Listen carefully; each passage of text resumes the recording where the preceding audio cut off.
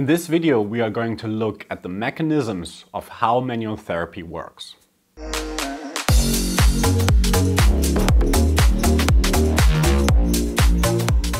Get our very own assessment ebook and mobile app. Links are in the video description.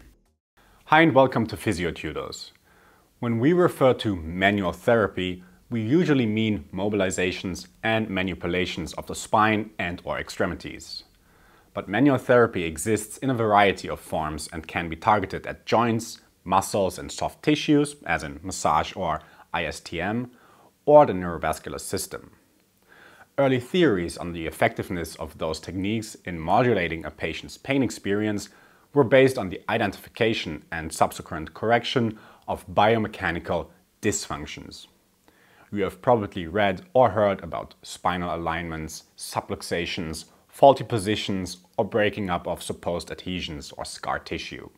However, by today's understanding, these theories are quite antiquated. Manual therapy does not break up adhesions, it does not put a vertebrae back into place or causes other mechanical changes of that sort in the tissues it's targeting. So, the question remains why patients experience changes in pain intensity, improvements in range of motion due to less stiffness or tightness, and general improvement in function. Bialosky et al. from 2009 and 2017 propose several theories on how manual therapy actually manages to achieve such results. Their comprehensive model of five mechanisms suggests that a mechanical input by means of manual therapy results in a multitude of neurophysiological effects, which we will briefly discuss in this video.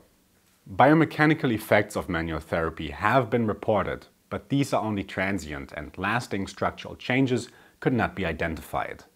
Furthermore, clinicians are not able to reliably determine the specific area that would require manual therapy. And third, the application is not precise but rather widespread, which supports the notion that additional mechanisms have to be at play. Hypoalgesic responses, increased sympathetic nervous system activity, and a lessening in temporal summation have been measured following the application of manual therapy. This mechanism is assumed to be mediated by the periaqueductal gray, which is an area in our brain that plays a critical role in autonomic function, motivated behavior, and behavioral responses to threatening stimuli, as well as changes in the spinal dorsal horn. We know that musculoskeletal injuries result in an inflammatory response and the expression of inflammatory mediators such as blood and serum level cytokines. Studies examining the effects of joint-biased manual therapy found that those were reduced following the application of the techniques. Furthermore, they observed changes in blood levels of, among others, beta-endorphin, serotonin, and endogenous cannabinoids.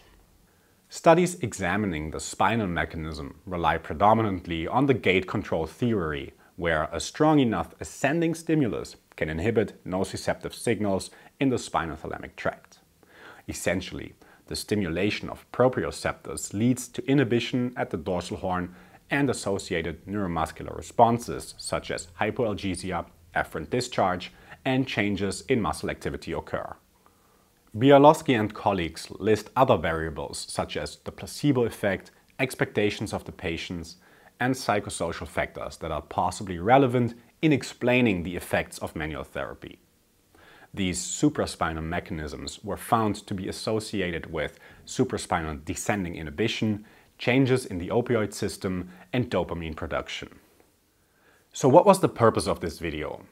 We want to present a comprehensive model trying to explain the multiple ways how manual therapy may work. By no means do we say that the mechanisms mentioned in this video are all of the ways in which manual therapy may aid in helping patients and their pain experience.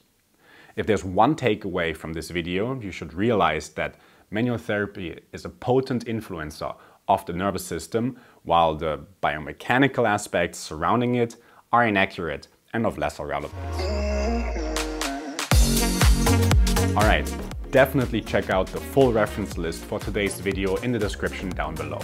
If you like this video and want to see more of this, you can support our channel by clicking the like button, by leaving a comment down below, and by subscribing to our channel.